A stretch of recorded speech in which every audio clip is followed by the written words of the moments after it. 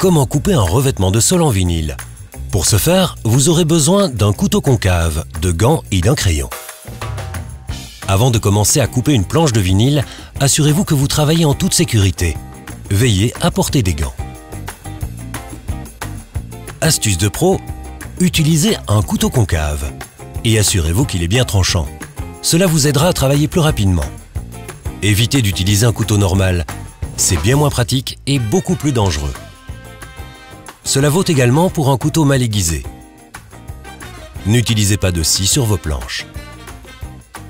Découpez toujours en orientant le décor de votre planche vers le haut.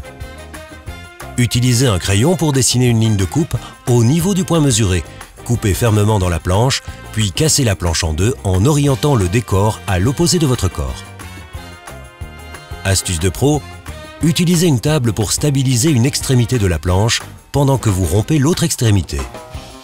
Si vous ne devez rompre qu'un petit bord, une paire de pinces ou un outil similaire est une alternative beaucoup plus pratique. Astuce de pro, veillez toujours à placer votre couteau aussi droit que possible avant de commencer votre incision. De cette façon, vous êtes sûr d'avoir suffisamment d'espace au niveau des bords pour l'expansion. La coupe de vos planches dans une forme particulière ne devrait pas poser de problème. Découpez la forme dans la planche en vinyle. Faites en sorte que les découpes soient bien ajustées et détachez cette forme de la planche. Astuce de pro, placez toujours une planche supplémentaire à l'envers sous la planche que vous voulez couper. Vous éviterez ainsi d'endommager votre sol fraîchement posé.